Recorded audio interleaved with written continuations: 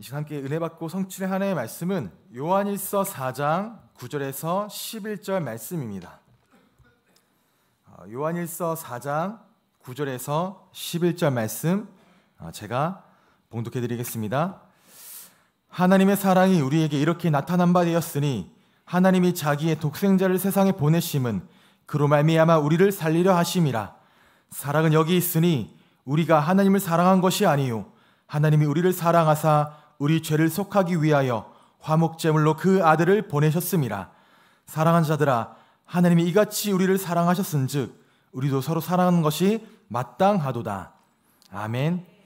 어, 읽어드린 말씀 가지고 사랑이 여기 있으니 어, 사랑이 여기 있으니라는 제목으로 함께 은혜를 나누도록 하겠습니다. 어, 이번 주 주일 말씀과 또 지난주 강단 말씀을 통해서 로마서 16장의 말씀을 가지고 우리에게 어, 기록에 남을 동역자라. 그리고 우리는 237 선교 드림팀이다. 라고 말씀을 주셨습니다.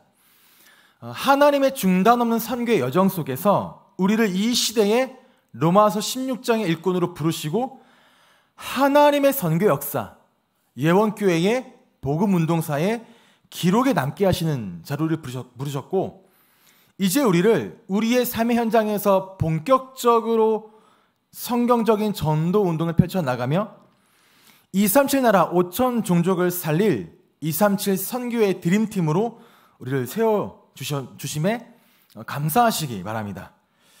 어, 저는 개인적으로 이 로마서 16장의 두 번의 말씀을 들으면서 한편으로는 굉장한 위로와 또 힘을 얻게 되기도 하면서 또 한편으로는 또 감사하게 되었던 것이 무엇이냐면 이 말씀을 통해 두 번의 말씀을 통해 하나님께서 나를 어떻게 보시는지 나의 가치와 나의 정체성 이거를 깨닫게 하시는데 감사하고 위로되고 또 힘이 얻어지고 저는 그렇게 말씀을 받게 되었습니다.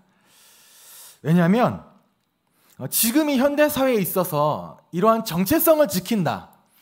어떠한 자존감을 건강하게 갖는다라는 것이 얼마나 중요한지 우리가 너무나 잘 알고 있기 때문에 그렇죠. 왜냐하면 경쟁이라는 게 점점 더 극심화되어지면서 매체가 발달하다 보니 나와 다른 사람을 쉽게 비교하게 됩니다.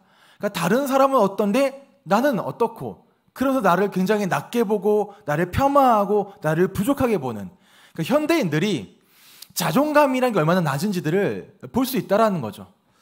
왜냐면 인스타그램만 들어가도 뭐 좋은 호텔, 좋은 밥, 좋은 집, 좋은 차, 좋은 옷 이런 것들만 보다 보니 나의 자존감이란 게 굉장히 낮아지는 게 현대인들이라는 겁니다. 아, 그래서 세상에 많은 전문가들이 어, 이런 자존감을 높이는 법에 대해서 이야기를 하는데 어떤 말을 하는가 보면은 이렇게 이야기합니다. 너 자신이 너 자신의 가치에 대해서 인정해 줘라. 그리고 너가 너를 사랑해 주면 된다. 어쩌면 세상에 그 누구도 너를 사랑해 주지 않아도 너가 너를 사랑해 주면 된다라고. 이게 책에서 나오는 말들이더라고요. 그럼 이런 말들 들을 때 저는 질문하게 되어집니다. 아, 그럼 과연 내가 인정해야 되는 나의 가치는 어디에서 오는 건가? 그럼 내가 나 자신을 사랑해 줄 수 있는 이 근거는 어디에 있는 거냐라는 거죠. 나의 가치가 어디에서 옵니까? 내가 나를 사랑해 줄 수 있는 나의 근거는 어디에 있습니까? 거기에 대해서 오늘 본문에 이렇게 답을 해주고 있습니다.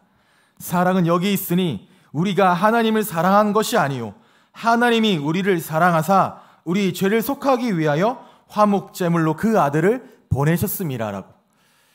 하나님이 나를, 하나님이 우리를 먼저 사랑하셨고, 하나님이 먼저 나의 가치를, 하나님이 먼저 나의 가치를 알아보셨으며, 그리고 이 말씀이 기록된 성경의 모든 말씀은 온통 하나님이 나를 얼마나 사랑하시는지, 하나님이 나를 얼마나 가치 있게 보시는지 정리해 놓은 책이 바로 이 성경의 66권 말씀이라는 것입니다.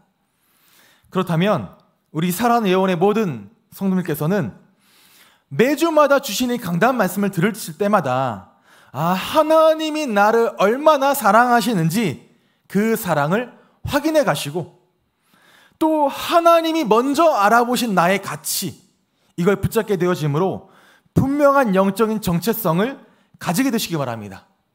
그렇게 해서 우리에게 맡기신 모든 삶의 현장에서 선한 영향력을 입히게 되시기를 주님의 이름으로 축복합니다. 그럼 첫 번째로 우리에게 나타난 하나님의 사랑입니다. 우리에게 나타난 하나님의 사랑. 구절 말씀 다시 보면 하나님의 사랑이 우리에게 이렇게 나타난 바 되었다라고 말씀을 하십니다. 하나님께서는 처음부터 그리고 창세 전부터 우리를 짓고 우리가 나기 전부터 우리를 사랑하셨다라고 성경은 말씀하고 있습니다. 우리를 사랑하신 하나님께서는 창세기 1장 27절에 하나님의 형상대로 우리를 창조하셨고 그런 우리에게 복을 주셔서 하나님과 함께하고 하나님을 예배할 수 있는 최고의 신분으로 삼아 주신 것이 우리를 향한 하나님의 사랑입니다. 그런 우리를 이제 이 세상에서 하나님의 대리자로 세우셔서 생육하고 번성하고 충만하고 정복하고 다스리는 축복을 주신 이것이 우리를 향한 하나님의 사랑이라는 거죠. 그리고 이 사랑이 이제 우리에게 어떻게 나타나고 어떻게 드러나느냐? 하나님이 자기의 독생자를 세상에 보내셨고 그 독생자를 우리를 살리시고 우리의 죄를 속하기 위하여 그 아들을 친히 화목제물로 삼으셨다. 즉 예수 그리스도의 십자가 대속과 이 부활의 승리가 바로 하나님의 사랑의 결정체이고 클라이맥스라는 겁니다. 로마서 5장 8절에 보면 우리가 아직 죄인 되었을 때에 하나, 그리스도께서 우리를 위하여 죽으심으로 하나님께서 우리에 대한 자기의 사랑을 확증하셨느니라라고. 그러니까 우리를 사랑하신 그 하나님의 사랑으로 인해 누구든지 독생자 예수 그리스도를 믿기만 하면 믿는 자마다 멸망당하지 않고 영생을 얻게 하신 것입니다. 우리는 하나님의 형상대로 창조되었지만 하나님의 말씀에 불순종하는 죄를 지음으로 말미암아 하나님을 떠날 수밖에 없었고 하나님을 떠나 사탄에게 종로로 타면서 말 그대로 너무나 비참한 인생 살 수밖에 없었다라는 거죠. 왜 비참합니까? 저주가 임하고 진노가 임해서 비참합니까? 하나님 떠난 그 자체가 비참한 겁니다. 하나님 떠나 살다 보니 아무리 내 인생 가운데 많은 것을 갖고 많은 것을 얻고 많은 것을 채우지만 그것으로 만족하지 않고 끊임없이 자책과 죄책 가운데 고민하며 살 수밖에 없는 그 인생이 비참하다라는 거죠.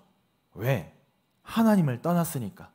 그 안에 하나님이 없으니 수없이 오는 갈증과 갈망을 다른 것으로 채워보지만 근원적으로 해결되지 않는 목마름에 비참히 살 수밖에 없는 그런 우리를 그렇게 하나님과 죄인 되었고 그렇게 하나님과 원수 되었던 우리를 하나님의 그 크신 사랑으로 구원하여 주시고 우리의 모든 문제를 완전히 깨끗하게 단번에 영원히 해결해 주신 것입니다.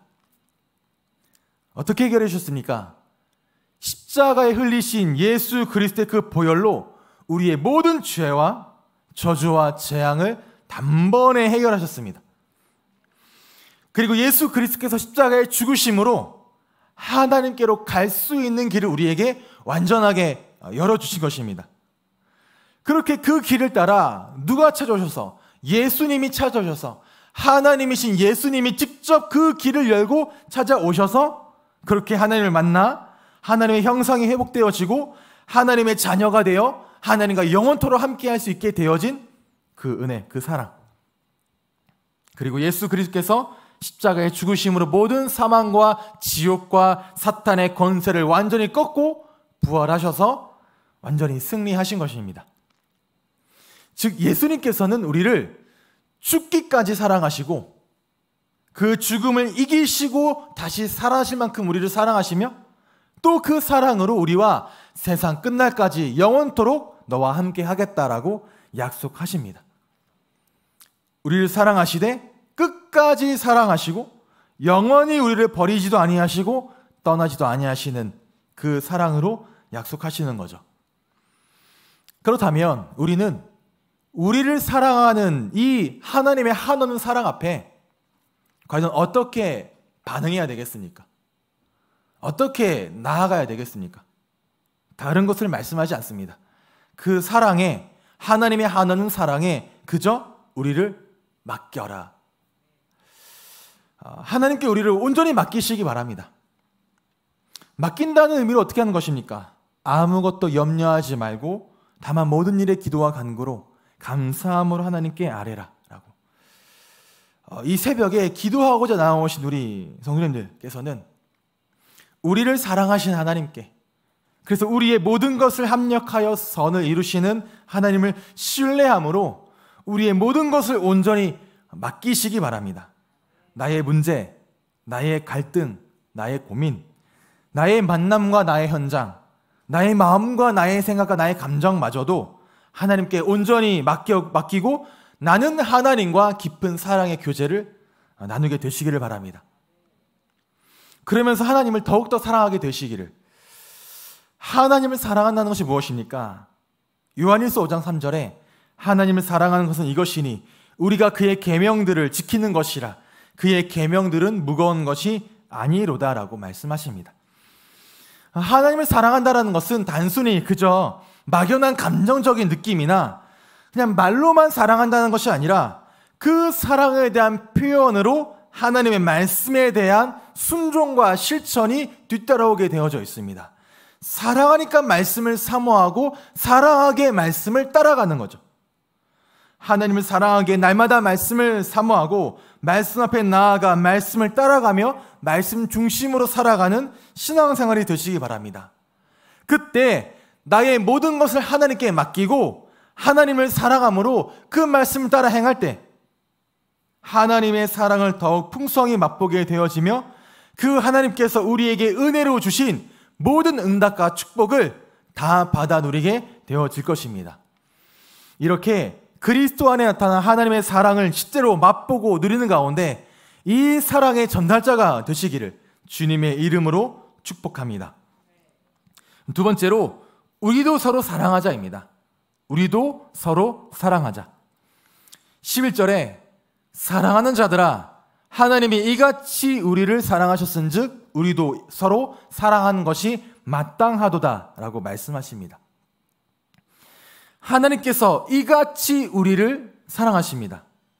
우리를 아무 조건 없이 그저 사랑하시고 끝까지 사랑하시고 그 사랑으로 우리를 그리스도 예수 안에서 구원하셨습니다. 하나님의 이 같은 사랑이 우리에게 나타났고 드러났고 분명히 드러났고 또 우리에게 반드시 분명히 이루어졌고 그 사랑이 지금도 너희 안에 있고 너희에게 유효하니 우리도 서로 사랑하는 것이 마땅하도다라고 말씀하시는 것입니다.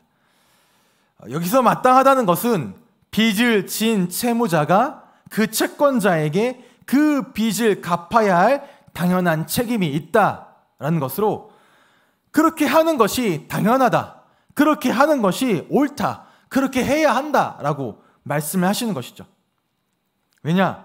너가 우리가 이 같은 하나님의 사랑을 체험했고 또 알고 있기 때문에 그 사랑의 빚진 자, 복음의 빚진 자로 살아가라고 말씀을 하시고 그것이 너희에게 마땅하다, 옳다.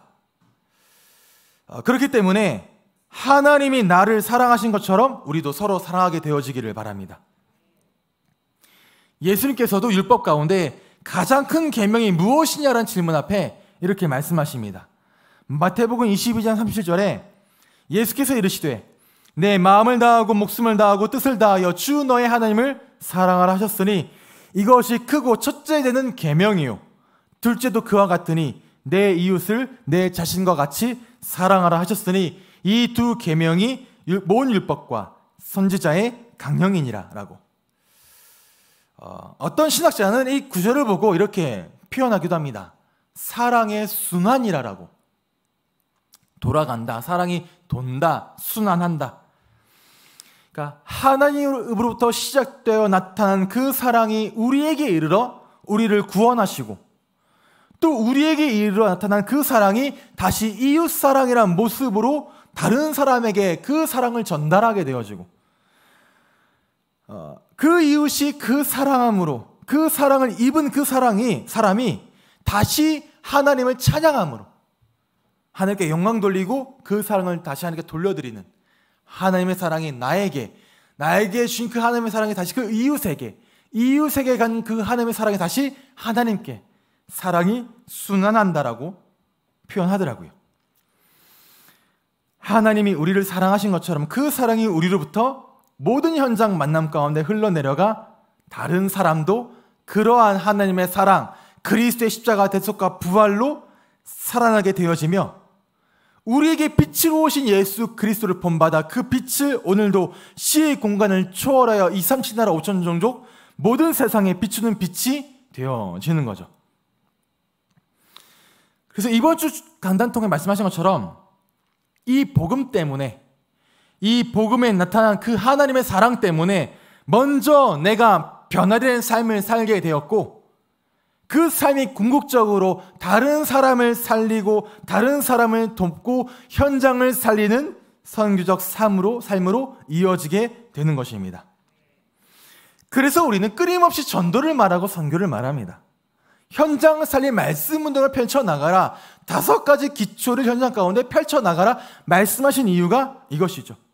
또 구원받은 자의 삶을 말하고 그 삶을 통해 보여지게 될 복음의 선한 영향력을 말하는 것이 주 너의 하나님을 사랑하고 내 이웃을 내 몸과 같이 사랑해야 되기 때문에 오늘도 우리에게 이러한 복음 전파의 사랑이 회복되어지며 우리가 가는 현장마다 예수 그리스도의 사랑이 증거되어지기를 바랍니다. 이러한 삶을 사는 것이 바로 나에게 주신 하나님의 형상을 나타내는 것이다라고 12절에 말씀하십니다. 만일 우리가 서로 사랑하면 하나님이 우리 안에 거하시고 그 사랑이 우리 안에 온전히 이루어지느니라라고. 우리가 하나님을 사랑하고 또 서로 사랑할 때 세상은 우리가 하나님의 사람임을 보게 될 것이고 하나님께서는 그 사랑으로 더욱 충만히 우리를 채우실 것입니다. 결론입니다. 어, 사랑이 여기 있으니 라고 말합니다. 세상의 모든 사람에게 감히 사랑이 없어 사랑을 잃어버린 이 시대가 되어졌습니다. 그런 시대에 참된 사랑이 여기에 있다라고 말하는 삶을 살게 되시기를 바랍니다. 세상의 모든 사람들이 감사를 잃어버리고 평안을 잃어버린 이 시대 가운데 참된 감사가 이 안에 있고 참된 평안이 바로 여기에 있다라고 말하는 삶을 살게 되시기를 바랍니다. 정말 모든 사람이 답이 없어서 방황하며 시대 가운데 참된 해답을 잃어버린 모든 영혼과 모든 시대의 모든 만남 가운데 너희를 구원할 너희의 모든 문제에 참된 해답이 바로 이 안에 있고 여기에 있다라고 말하는 삶이 바로 우리가 살아가야 될 그 사랑을 입은 삶의 모습이라는 거죠. 그래서 오늘도 만나게 될 모든 사람들에게 하나님의 무조건적인 사랑 되시는 예수 그리스도를 말함으로 우리의 삶의 모든 현장에 중단 없이 말씀 운동이 흘러가게 되어지며 더 나아가 2, 3, 7 나라 5천 종족 가운데 시의 공간을 초월하여 그 은혜와 사랑을 전달하는 2, 3, 7 선교 드림팀으로 서게 되시기를 주님의 이름으로 축복합니다.